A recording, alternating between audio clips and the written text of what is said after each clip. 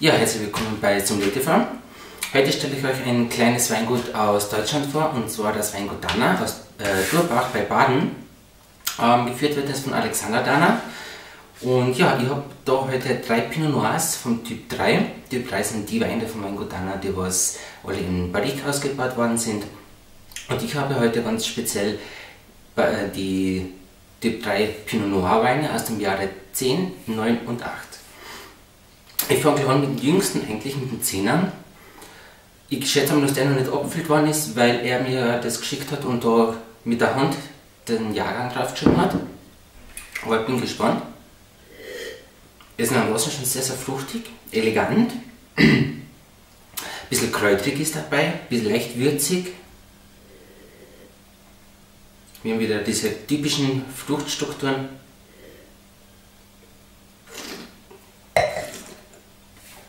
Am Gaumen. Sehr schön. Das Tannin ist noch ziemlich kräftig. Ist noch ein bisschen im Vordergrund, ist noch nicht ganz eingebunden. Ist zwar schon trinkbereit, aber fast noch eine Spur zu jung. Wäre eigentlich schade, ihn jetzt schon zu trinken. Er hat wieder eine schöne Frucht, er hat ein schönes äh, Spiel zwischen Frucht und Tannin. Er hat einen mittleren bis langen Abgang. Sehr schön. Ähm, weich, man hat ein bisschen die Holztöne dabei, wobei die beim Tannin ein bisschen untergehen noch. Wenn er ein bisschen reifer ist, nachher nicht sicher sehr gut. Wie viel Prozent er hat, habe ich ehrlich gesagt keine Ahnung, das steht da noch nicht oben. Ich schätze mal, er wird bei den 13% 13,5 ähm, irgendwo in der Richtung er herumschwimmen. Gut, dann gehen wir zum Jahrgang 2009. Es ist wieder alles trocken. In der Nase wieder sehr schön fruchtig, dieses grasige, kräutrige, wie wir beim 2010er schon gehabt haben, ist da auch wieder, nur schon etwas feiner. Die Fruchtstruktur ist auch wieder dieselbe, aber mehr im Vordergrund, mehr ausgeprägt, ein bisschen besser in Balance.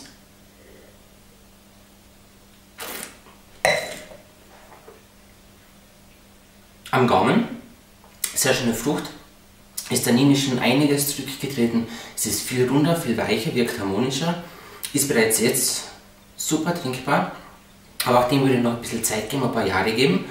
Und es ist da echt ein gutes Potenzial. Und ja, genau.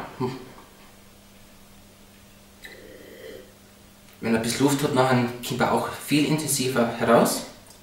Und dann öffnet er sich mehr, ein bisschen verschlossen.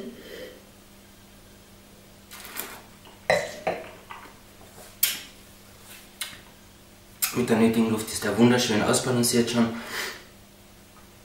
Sehr reif, hat 13,5 wie gesagt Jahrgang 2009. Sehr schön, ist ein spannender Wein, wunderschöner Speisenbegleiter zu Rindgerichten. Kann man sehr gut vorstellen, irgend so einen äh, Rahmgeschnetzelten mit Kalb, genauso. Ansonsten stellen wir den sehr gut auch bei Wildgerichten vor, irgendwas mit einer Preiselbeersauce, Rehragout, kann man ganz gut vorstellen vielleicht ein bisschen ein paar Sachen mit äh, Kräutern, ein bisschen was dieses mediterranen Touch haben, weil der Wein selber auch sehr viel Kräuteraromen und Kräuter im Bouquet hat. Wirklich sehr schön. Dann haben wir noch den 2008er und da bin ich wirklich schon sehr spannend, äh, sehr gespannt. In der Nase sehr, sehr reif. Dunkle Beerenfrucht, Kirsche ist dabei, ein bisschen diese Amarena-Kirsche, was man kennt aber auch ähm, Heidelbeeren, es ist dezent blumig, es ist wieder ein bisschen Kräuter dabei, leicht rauchig.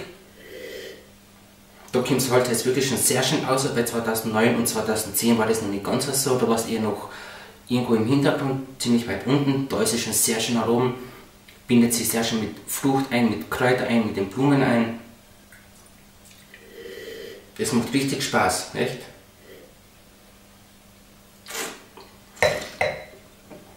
Am Gaumen. Wir haben jetzt im Vordergrund erstmal diese Fruchtstruktur. Das Tannin ist im Hintergrund getreten, schön eingebunden, weich, ein langer Abgang, der sich schön breit zieht. Er ist sehr vollmundig, sehr kräftig, aber auch sehr elegant und kein, Porzellan äh, kein Elefante Porzellanladen. Schön angenehm rinnt er die Kehle runter, traumhaft. Ähm, Man hat da wieder dieses ledrige, erdige hat man am Gaumen. Das kommt noch ein circa hinten weiter.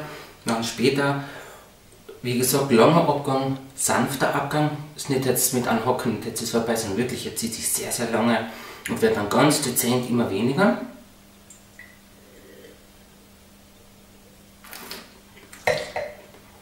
Das Holz hat sich schon wunderbar eingebunden, das Ganze ist sehr harmonisch schon.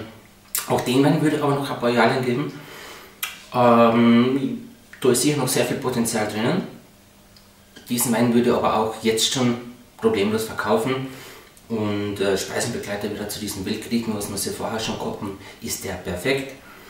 Kann man dem sehr, sehr gut vorstellen. Aber auch für den Sologenuss, speziell jetzt im Winter, wo es noch so kalt ist, auf dem Kamin ein Glas Wein ja, was Kräftiges, Schönes, Elegantes will, ist genau mit diesem Pinot Noir 2008 Maingotana genau goldrichtig. Und wie gesagt, aber auch dieser sehr viel Luft. Gleich nach dem Öffnen ist er noch ziemlich verschlossen, deswegen einfach ein bisschen stehen lassen. Und speziell bei Pinot Noirs oder generell bei Burgunder ist immer ein bisschen aufzupassen mit Belüften im Dekanter. Oft sind es einfach zu viele Gramm, dass sie einfach noch einen ähm, zusammenklappen, wenn sie in den Dekanter kommen. Deswegen ist es gescheiter, die Sachen in der Flasche ein bisschen Zeit zu geben oder dem Wein im Glas Zeit zu geben. Nachher wird das wunderschön. Und die Eleganz bleibt auch, die Struktur bleibt einfach besser erhalten, als wie man es jetzt im Dekanter belüftet. Ja, wie gesagt, wir haben jetzt die Weine gehabt aus drei Jahren von Weingut Danner, Pinot Noir 2008, 2009 und 2010. 2008 hat 12,5% laut Etikett, der 2009 hat 13,5%, der 2010er weiß ich leider nicht, hat er nicht aufgeschrieben. Ich schätze aber, dass der auch ca. bei 13% sein wird. Ähm, was wir noch gesehen haben, ist die Entwicklung von diesem Wein, eigentlich vom genau gleichen Sortiment, auch nur von den verschiedenen Jahrgängen. Wie es reift, wie er sich entwickelt, wie er sich später dann präsentiert. Wir haben gehabt den 2010er, der was noch sehr fruchtig war, ein bisschen unruhig war, sehr starkes Tannin. Auf der anderen Seite die 2008er, der was schon eingebunden war, harmonischer war, sehr elegant war. Und der 2009er, der was noch mittendrin ist, der was seinen Weg noch nicht ganz gefunden hat. Aber man kann schon sehen, das wird spitze werden mit den Jahren. Deswegen, ich kann es dir wärmstens empfehlen. Und schaut euch das an, lasst euch davon überzeugen, die Beine sind nicht teuer, überhaupt nicht. Und wie gesagt, Weingut Danner aus Turbach bei Baden oder halt im wunderschönen deutschen Weinbaugebiet Baden. Ich bedanke mich und freue mich schon aufs nächste Mal. Tschüss.